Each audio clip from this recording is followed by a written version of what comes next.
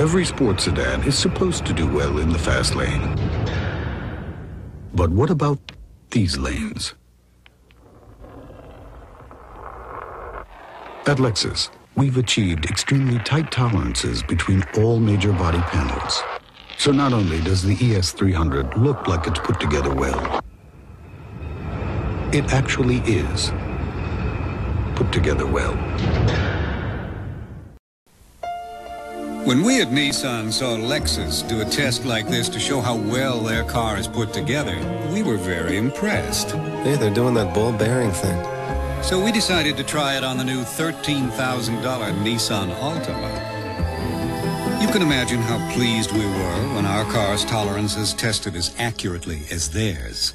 Not bad. The new Nissan Altima. It's time to expect more from a car.